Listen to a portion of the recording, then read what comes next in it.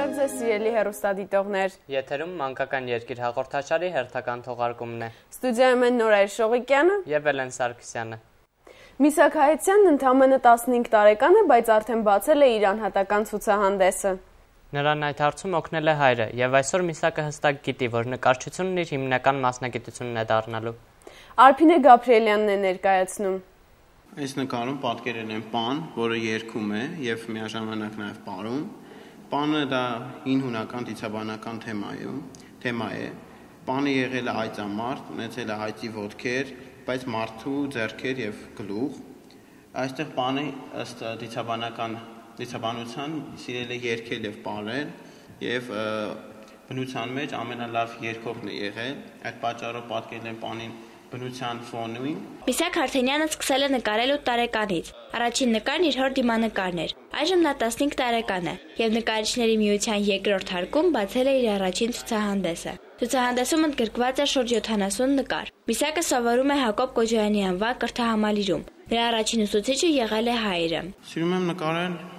տարբեր ժանրերով եւ տարբեր թեմաներով։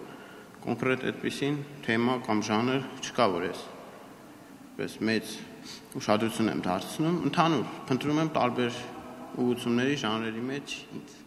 Ցուցահանդեսում նկարների բազմազանության պակաս չէր նկատվում։ Գերակշռող մասը բնություն էր եւ կենթանիներ։ Այցելուները մեծ հիացմունքով էին դիտում նկարները։ Այցելուների թվում կային նաեւ փոքրիկ նկարիչներ։ Փոքրիկ Անին այնքան էր դուր եկել Միսակի նկարած հեքիաթային փիղը, որ նա որոշեց. Երբ որ տուն գնամ, կփորձեմ այդ փղին նկարեմ։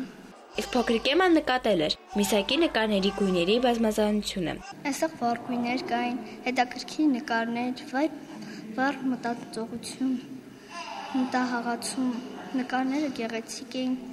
լավ նկարած նկարս։ Նկարներում կար բնություն, գյուղական եւ քաղաքային տեսարաններ, կենթանիներ, հեքիաթային եւ դիցաբանական կերպարներ, եւ այդ ամենը վառ գույներով։ Մեր այն հարցին, թե ինչ ոճում է նախընտրում նկարել, պատանի նկարիչը պատասխանեց. Շատ եմ սիրում կենթանիներ նկարել, տապես բնություն, ծառեր, ինչու՞ չէ նաև քաղաքային տեսարաններ։ Միսակն արդեն որոշել է, մինչ այսօր զբաղմունք համարված նկարչությունը կդառնա իր ապագա մասնագիտությունը։ Արփինե Կապրելյան, Արտեմ Սարգսյան, Մանկական երկիր։ Նոյեմբերի 30-ին Ուկրաինայի մայրաքաղաք Կիևում կայանալիք մանկական Եվրատեսիլ 2013-ը Հայաստանից կհյուրընկալի փոքրիկ շոկոլադագործներին։ Այս տարի Հայաստանը մանկական Եվրատեսիլում կներկայացնի Մոնիկա Ավանեսյանը իր շոկո մոնո երգով։ Մանկական Եվրատեսիլ 2013 մրցույթն այս տարի կանցկացվի Ուկրաինայի արվեստների ազգային պալատում Be Creative նշանաբանի ներքո։ Հայաստանը Եվրոպայի այս հեղինակավոր պատանեկան մրցույթին ներկայանում է 7-րդ անգամ։ Ներկայացնում է Թամարա Վարդանյանը։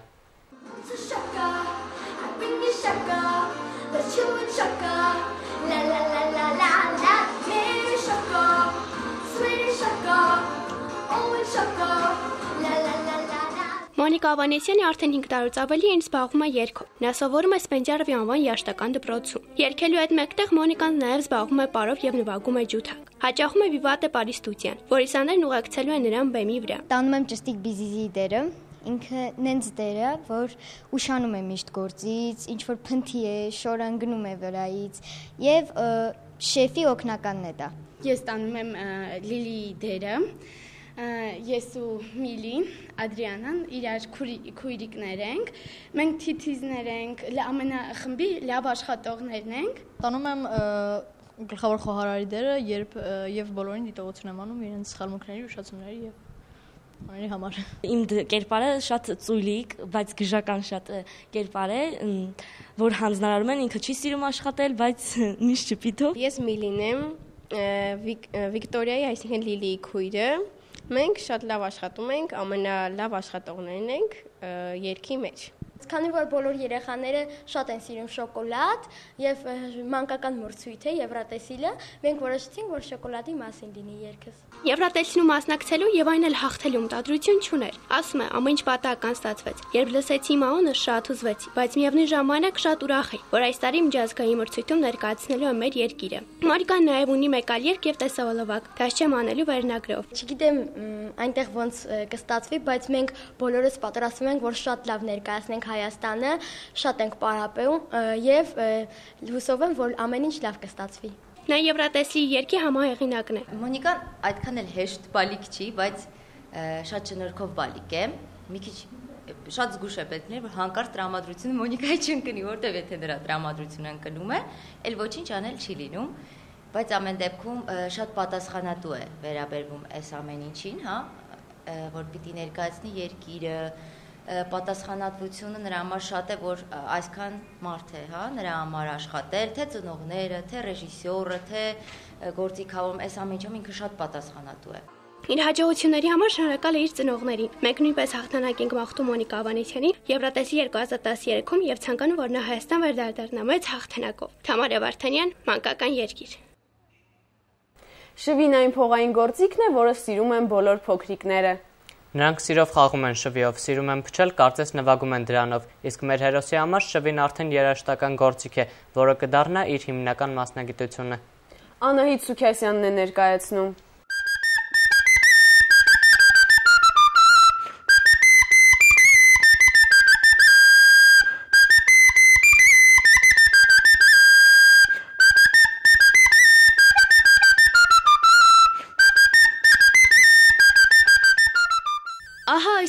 Պավլիկն ամեն օր նվագում է եւ հաճույք ստանում իր նվագած երաժշտությունից։ Նա ընդամենը 13 տարեկան է, բայց շատ է սիրում հայկական ժողովրդական երաժշտությունը։ Պավլիկը շվիի հաճախում է արդեն երկար տարիներ եւ նվագում է ժողովրդական գործիքների անսամբլում։ Այս ընթացքում նա հասցրել է բազմաթիվ համերգների մասնակցել եւ կապվել բեմի հետ։ Իր խոսքերով սկզբում դժվար էր բեմ բարձրանալն ու չլարվելը, բայց ժամանակի ընթացքում կարողացավ հարմարվել։ Ես նվագում եմ տարբեր ժանրի գործեր,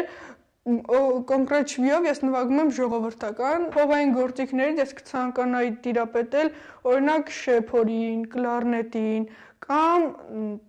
սուրնային Պավլիկը շվիների մի ամբողջ հավաքածու ունի, որոնց մեծ մասը բերված է արտերկրից, սակայն նա սիրում է նվագել մի-միայն հայկական շվիով։ Այնքան է երաժշտություն սիրում, որ չի ցանկացել սահմանափակվել մեկ գործիքով եւ արդեն 2 տարի է, ինչ նաեւ սինթեզատոր է նվագում։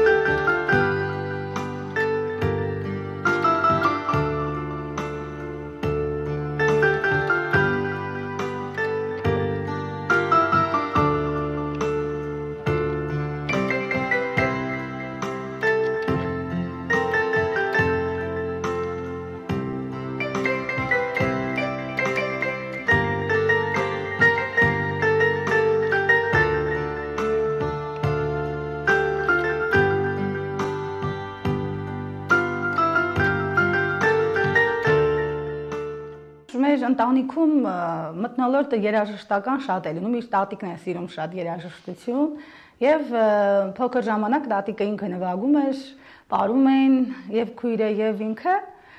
բոլորս էլ շատ սիրում են երաժշտություն եւ դա ընդհանուր մտնոլորտը ընտանեկան նպաստել է որ ընտրի կոնկրետ երաժշտությունը չնայած տատիկը ուզում էր որ նա դառնա նաեւ երգիչ բայց Առայժմ այդ տվյալները չենք բացահայտել։ Պավլիկը կարծում է, որ գրագետ երաժիշտ լինելու համար միայն լավ նվագելը քիչ է, անհրաժեշտ է նաև լավ տիրապետել սոլֆեջիոին։ Այդ իսկ պատճառով էլ նախորացված սոլֆեջիոյի դասերի է հաճախում։ Շվին ժողովրդական գործիք է, հայկական, շվին պատրաստված է ծիրանի փայտից, շվին ունի վերևում 7 անցք, որից ընդամենը 6-ն են նոտաներ, սա որպիսի օդը դուրս գա, եւ մեկ անց ներքևում, որը նույնպես նոտա է եւ այստեղից էլ դուրս է գալի շվի ձայնը։ Երաժշտասեր տղան որոշել է այս տարի ընդունվել Ռոմանոս Մելիքյանի անվան երաժշտական քոլեջ, իսկ այն ավարտելուց հետո արդեն ընդունվել Երևանի Կոմիտասի անվան պետական կոնսերվատորիա, որpիսի չբաժանվի իր գործիքներից եւ զբաղվի իր սիրած գործով՝ երաժշտությամբ։ Ինձ մնում է միայն հաջողություն մաղթել նրան եւ ես համոզված եմ, որ Պավլիկը փայլուն երաժիշտ է դառնալու։ Անահիտ Սուքյասյան, Վահրամ Ասատրյան, Մանկական երկիր։